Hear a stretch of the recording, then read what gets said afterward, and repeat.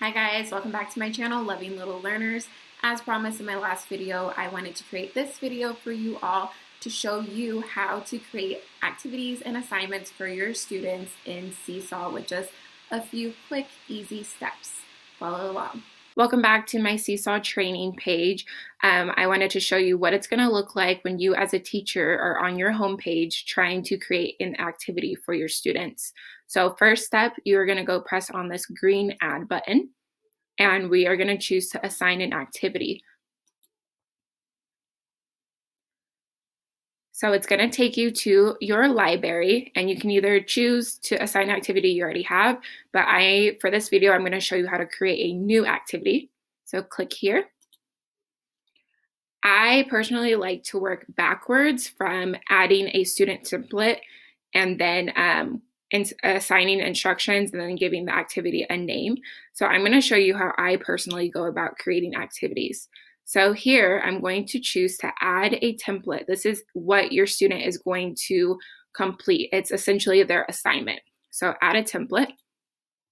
And then you can choose to add a photo that um, you want them to maybe label or talk about um, you can choose a drawing. So this is where they're going to have access to all of those cool drawing tools that i showed you on the last video um, coloring annotations things like that. Um, you can assign them a video that you've made of yourself any type of file a note or a link.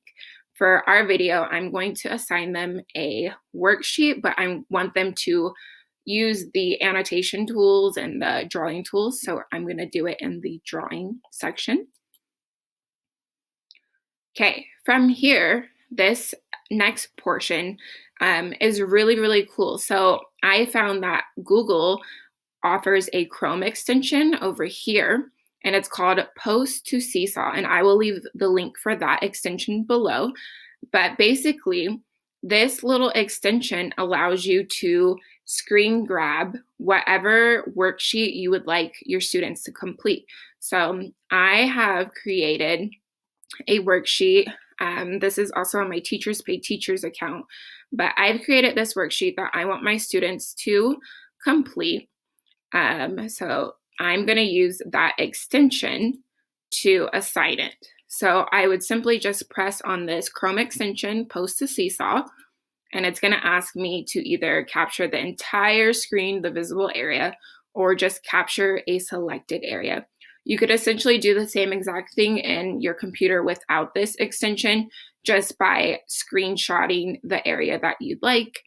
Um, so I'm going to go ahead and click to copy a selected area, and then I'm going to copy the entire worksheet that's going to automatically come back into my Seesaw page. If you don't have that extension, then you would just go here to the camera button and upload the screenshot that you took of your worksheet. So I'm going to just rearrange it so it fits better on my page. That's exactly what I want.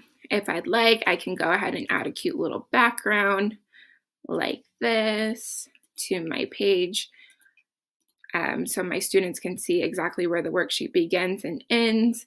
So once it's how I'd like, I'd simply just press on this green check mark to say that's the attachment I want, the template I want for my students. So green, and it's attaching my item. So this is relative, uh, sort of kind of a little bit more of a complicated worksheet. It has uh, many steps. It's not as simple as many of the worksheets that I typically assign, but I wanted to go ahead and show you all how to complete this particular worksheet because it has a lot of steps, but it is still easy enough for anybody to do. Um, so the next thing, now that I have my template attached, I am going to go ahead and work my way up and add in my instructions. So since I know what I want my students to do and what I want from them for the worksheet, I'm simply going to showcase those steps as I would in the classroom right here in the instructions. So I'm going to start with one, add my first instruction. And you'll see when I'm adding that I'm using these colons in the beginning and end of a specific words.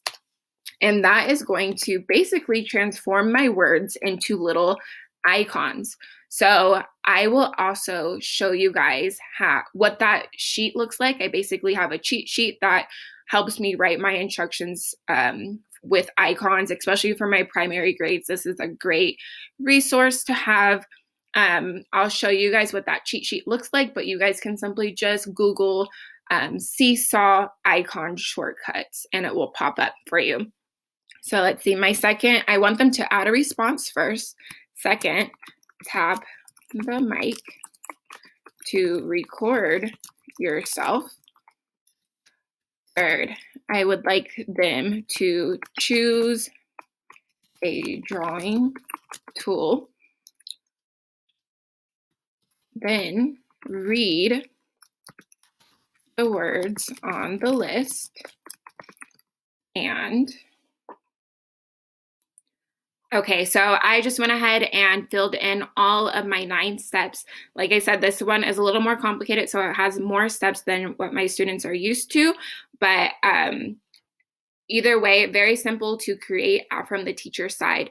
Um, when I press save, you guys will see what the instructions look like when they've transformed into those icons using that cheat sheet. So once I written in all my student instructions, what I like to do next is add voice instructions. Again, this is a really good feature for my primary grades because they can hear your voice and they can um, replay the steps while they are in their activity and completing their activity. So I will just go ahead and press add voice instructions and read through the steps I wrote. First, click the add a response button. Then tap the microphone to record yourself. Choose a drawing tool and read the words on the list and mark them off as you go. Press the pause button and write a sentence using three words from your list. Tap the pause button again to play your recording and read your sentence. Use a drawing tool to draw a picture to match the sentence you've written and click on the check button twice to submit your work. So once I'm done recording my instructions, they will process and attach to this sheet here. You can hear it yourself and listen to make sure it's what you want and redo it if it's not. And then the last thing I'm going to do is just give my activity a name. So um, let's see. Sight word practice. Once I have all of these different areas filled in, I'm done. Um, you also have an option if you have co-teachers to add information here. So I like to do this on activities that I use for assessments. And if my co-teacher is going to be grading um, the assessment as they see it being um, being completed, I would like to add like my rubric, what constitutes one star, two stars, three stars, or four stars. Um, so this is a really good area to add those specific notes. These are notes that only teachers can see and they are not visible to students. So once I have all of that done, I'm just going to press save.